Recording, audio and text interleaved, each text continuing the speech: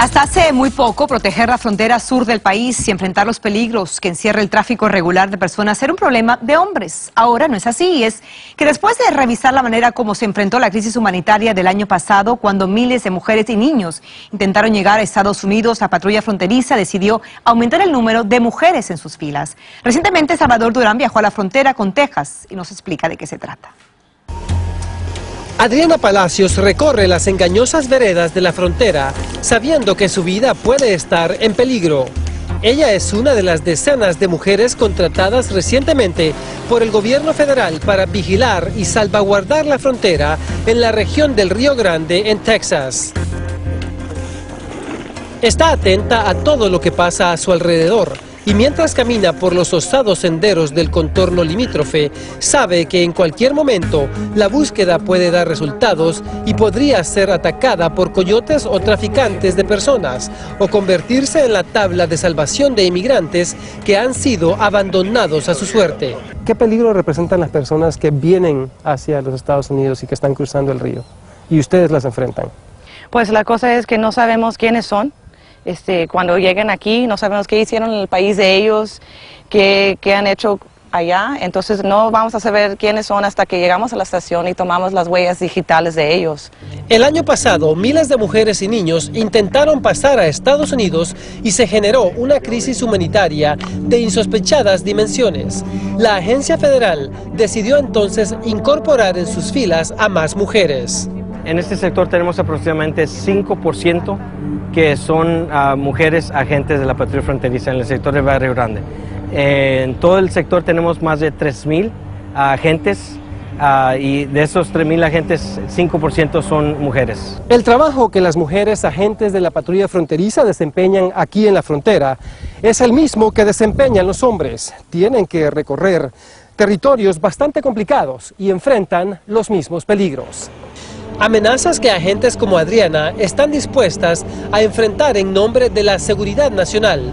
Y por razones humanitarias, ella sabe que muchas mujeres sufren vejámenes durante el recorrido y tienden a colaborar más con la autoridad, si quien escucha es de su mismo género. Las mujeres tienen miedo de los hombres. Entonces, cuando ven a una mujer en la frontera, este, es diferente porque se sorprenden y se acercan más.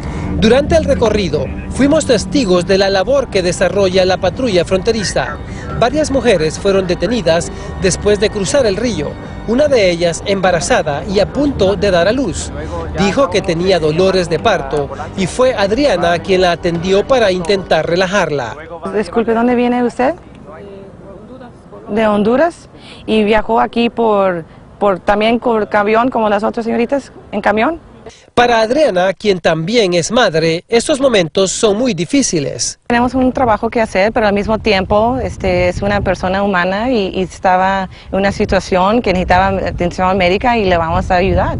Mientras llegaba la ambulancia que fue solicitada, hablamos con la futura madre. ¿Cuántos meses tiene de de los nueve, dos semanas para los nueve. Dos semanas.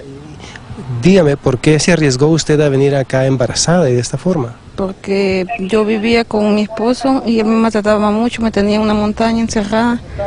Y un día yo me le escapé y mi mamá me ayudó para venirme para acá. Y él me maltrataba mucho, por eso decidí venirme para acá mejor. Después fue trasladada de emergencia al hospital para ser atendida y las otras mujeres fueron llevadas a un centro de detención. ¿Y en los zapatos no tiene nada adentro ahí? No todos creen que las mujeres agentes hagan alguna diferencia en el trato que reciben las personas en la frontera. Jonathan Ryan, de la organización Pro Inmigrantes Raíces, dice que la solución de los problemas está en otro lugar.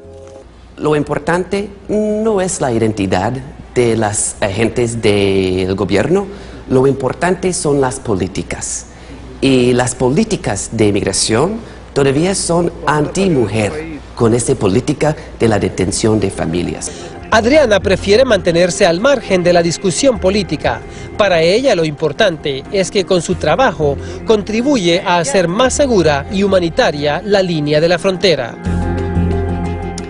En lo que va del año, la patrulla fronteriza ha arrestado a más de 132 mil personas, una cifra mucho menor que la del año pasado, que lograron arrestar a 247 mil personas. Según las autoridades, esto se debe a que hay una mayor vigilancia.